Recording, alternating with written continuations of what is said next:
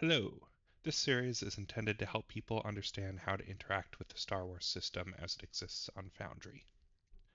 Although I'm creating this video series, the wiki does exist and is editable by the community, so it serves to answer more in-depth questions, and Discord also exists. You can talk interactively with people there. This video in particular is intended to help figure out how to set up a world and, and make it usable. By usable here, what I mean is it will have actors, it will have items, it will allow the GM to start prepping for a session. This video uses Foundry 12.327, Star Wars 1.901, and has no active modules. So the first thing that we're going to want to do is go ahead and download two things. Oggdude's character generator, you can Google it and click download files and Star Wars adversaries. You can Google that, you'll end up on a page like this. Hit source and code and download zip. Next up, we're going to create the world. So let's click install system and type in Star Wars and hit install. Next, we're going to create a world. You can call this whatever you want but make sure you pick Star Wars as the game system. Load into it and log in. There's no password by default. Okay, so we have no actors, no items, no journals, no roll tables, but lots of compendiums, all of which are empty. So we're going to start populating those. To do so, grab that SW character gen gen that you just downloaded and extract it. Go into it and right click data and zip that up. And then come over here to settings, configure settings, Star Wars, Oggdude dataset importer, and choose the data.zip that you just created. Not this, this will not work, specifically the data.zip. Click load, check all the boxes for anything that you actually want to load. For the first time, I recommend everything. And hit start import. This will take a while, but we can see that the items are starting to get populated. Okay, so as that wraps up, we can start our next import, and that's the adversaries import. So you can see we have a Star Wars Adversaries compendium, but it's still empty. So we're going to swap over to here, choose the file, and grab the adversaries zip that we downloaded. Note that these cannot be running at the same time. You need to let the Oggdude data set importer finish first. Now you can hit start import, and it will import the hundreds of actors that are on that website. Okay, so now that that import has finished, what we're going to want to do is create our critical injury items. To do that, we click over here on the Items tab. I've already done it, so you can see them here. I click Create Item, add them as a critical injury, and populate it. Note that this D100 roll, low, and high does need to be set properly. So once those are all created, we can go ahead and look for the macro. macro's on the wiki.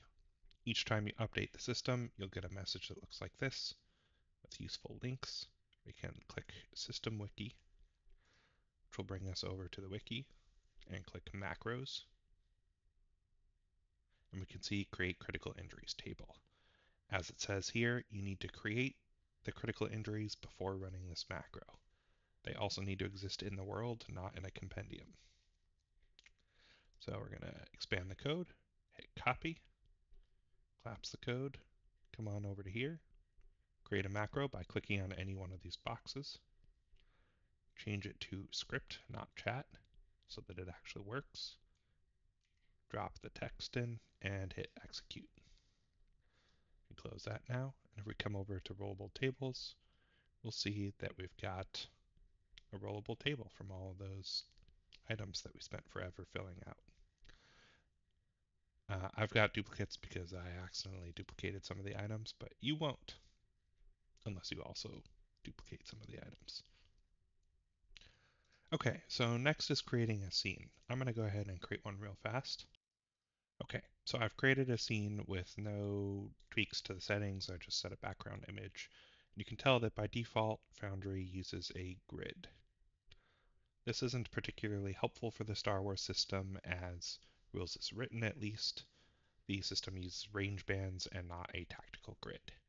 So what we can do is we can configure our scene, go to the grid tab, and set it to gridless. This cleans it up a lot and helps it to look cinematic, which Star Wars typically is. Those are all of the core concepts that I wanted to cover in this video, so I'm going to move on to some gotchas. The compendiums over here that were created by default that we just populated are wiped every time you update the system. So you will need to go and re-import all of that data each time. Luckily, it's quite fast. I just did it, so you can do it each time. It's not a big deal. And I frequently release updates that improve the importer, so you'll get better data anyway. Well, chances are anyway. Next up, I've seen some people with a desire to import, I don't know, every career and every one of these items, right? So that they're, or actors would be a better one, so you can actually see it, right? So that they're in this list as well. This is a bad idea. When you load Foundry, what happens is it sends each person joining a copy of all of these items all these actors, all the journal pages, and everything before actually finishing loading the page. This is not the case for things in compendiums. Compendiums are not sent to the player until they open the item in the compendium. Which means if you import all these items, it's going to take a really long time for everyone to load into the world and it won't help that much because they're all available here anyway when you actually want to use them. Uh, also to note, the Star Wars Adversary importer is not perfect all of the time. Sometimes small stats will be off, usually soak or wounds, or items won't be equipped. You can see that here. Just go through and check it. Check it against either the website or the books or live with it. It's not that big a deal, and nobody says it has to be perfect to what the uh, what the source material is. Note that I just clicked this and it didn't actually edit. You can't edit it while it's in the compendium. You do need to actually import it to be able to edit it.